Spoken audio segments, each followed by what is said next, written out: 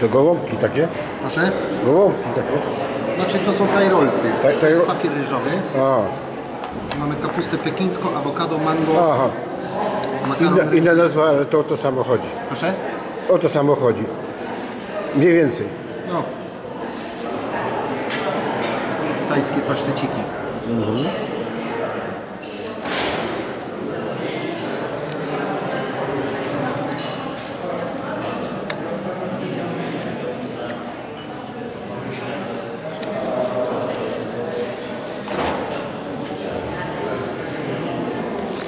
Wasabi i majonez.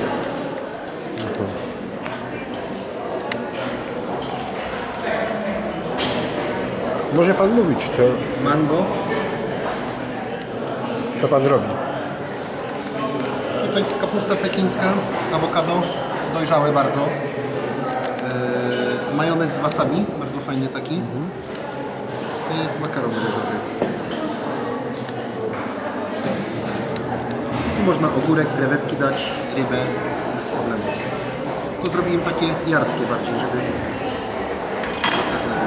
No i teraz ten papierek się bardzo szybko w wodzie robi jako surowy, to jest taki sztywny.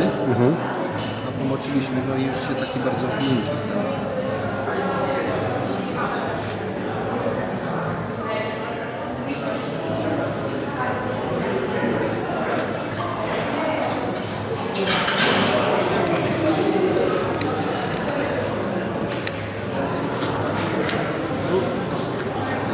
Bardzo kruche.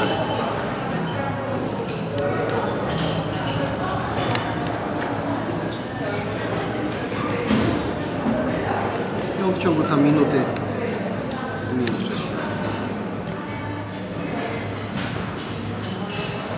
To Powinienem przy tym tak mówić. Tingo i biadaja, ojoła.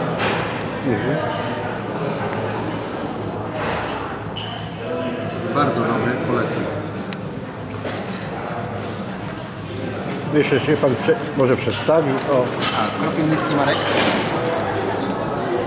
znany jako Marko Blue gastronomii.